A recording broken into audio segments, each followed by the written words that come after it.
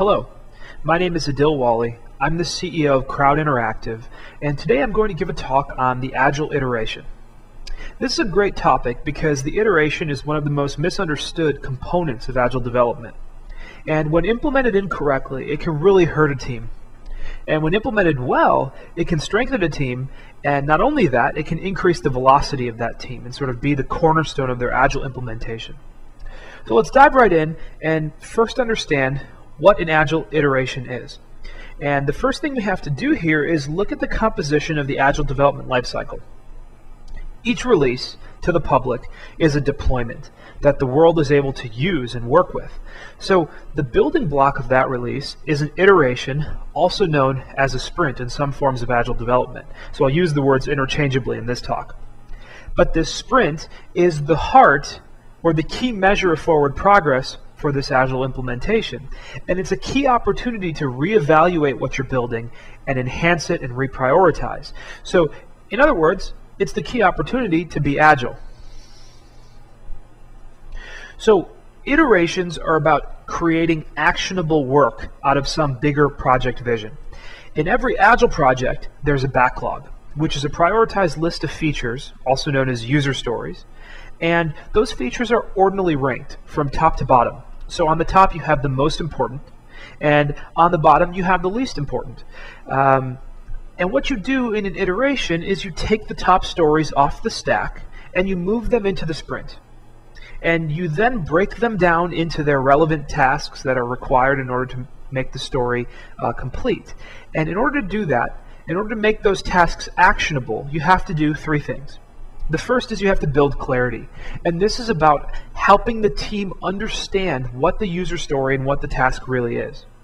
Then you want to once you understand, once the developers understand the, the, the feature, they can estimate the time associated with the task. Once we have a time estimate, we can assign ownership to a developer on the team. So now we've answered the what, the who, and the how much time, which is all that's really needed to make a task actionable. So let's look next at the agenda of an Agile Iteration Planner meeting. Now, before diving into this, I have to warn you that the sprint planner is a complex topic, and really it merits its own talk. So the bad news is that you'll have to forgive me because I'm going to go over it at a very high level, and I'm going to go over it quickly. The good news, however, is that I'm going to be making a video just for the iteration planner, and, and I'll be releasing that pretty soon.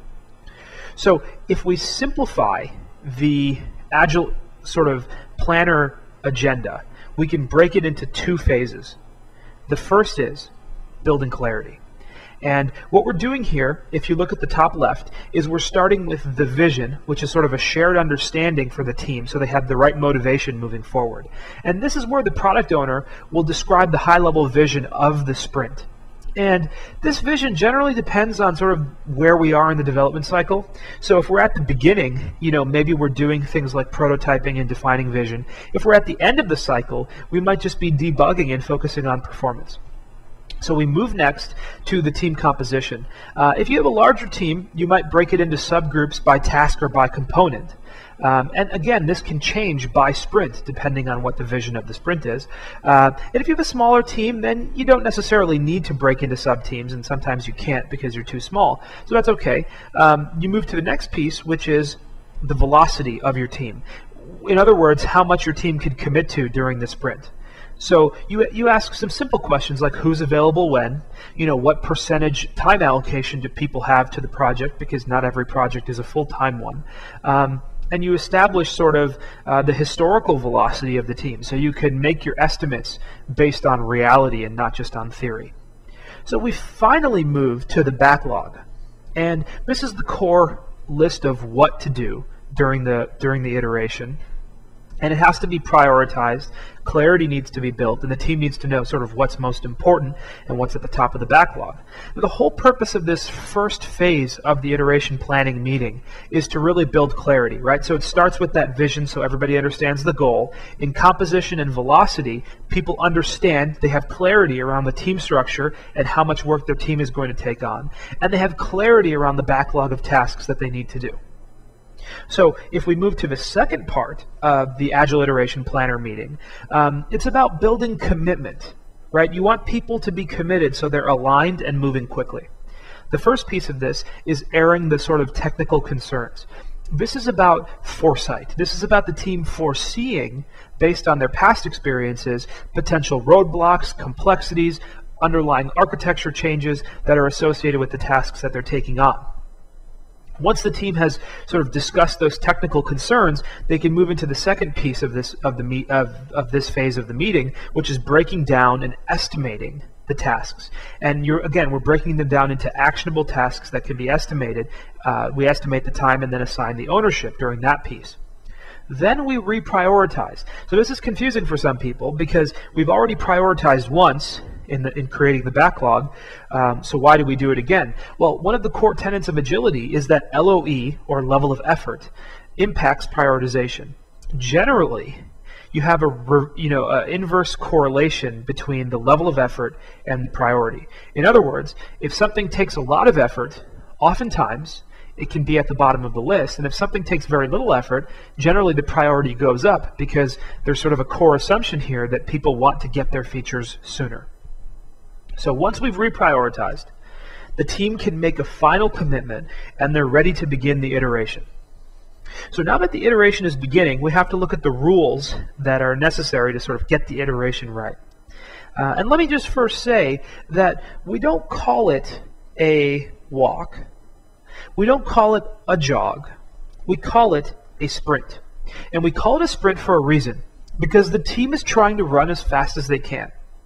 And in order to do that, we have to create an environment by which they can go as quickly as they can. And there are a few core rules to doing that. The first is you let developers set their own timeframes. Because when you let other people, especially non technical experts, set timeframes, generally things are slower in the end. You also want to avoid interruptions. And this is the rule with sort of all knowledge work because it's heavily reliant on focus and train of thought. So you have a huge productivity loss just when somebody taps on the shoulder of a developer and interrupts them when they're in the middle of, of working on something. So you want to you want to avoid that and build discipline around that. And finally, similar to the second piece, is protecting tasks. Uh, this is akin to protecting the sanity of developers because oftentimes uh, in an undisciplined team, priorities are changing so quickly, minute to minute, hour to hour, they're changing so fast that the developer is sort of flipped upside down. They don't know left from right.